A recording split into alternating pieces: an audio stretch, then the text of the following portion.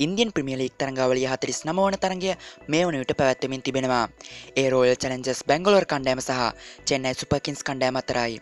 අද තරගේදී royal challenges Bangalore කණ්ඩෑම වනිදු හසරංග නියෝජනය කරන අතර චෙන්නයි සුපකින්ස් කණ්ඩෑම මහිස්තේක්ෂණ නියෝජනය කරනවා.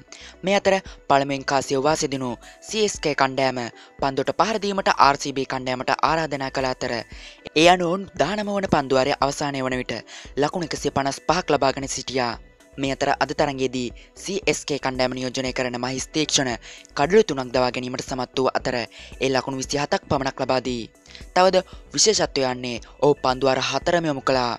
ඒ විතරක් නොවේ ඕ මෙම තරගේ ඕගේ අවසන් පන්දුවාරය යොමු කළේ තරගේ දහනම වන පන්දුවාරයි. එම පන්දුවාරය ඉතාමත් හොඳින් ක්‍රියාත්මක කර මහිස්ත්‍රේක්ෂණ ලකුණු දෙකට කල්ලු තුනක් දවා ගැනීමට සමත් වනා.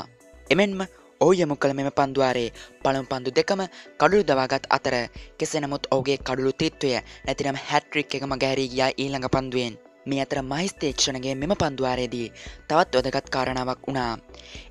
ඒ RCB කණ්ඩෑම වෙනුවෙන් පන්දුවට පහරදීමට පැමිණියේ වනිදු හසරංග වන අතර වනිදු හසරංගව ලකුණු බින්දුවකට ක්‍රීඩාකාරයට හරවා යැවීමටත් මහිස්තේක්ෂණ සමත් වුණා. මහිස්තේක්ෂණගේ මෙම පන්දුවාර හතරතුර තවත් විශේෂිත කාරණාවක් සිදුනා. ඒ ඔහු යොමු කළ එක් පන්දුවක්.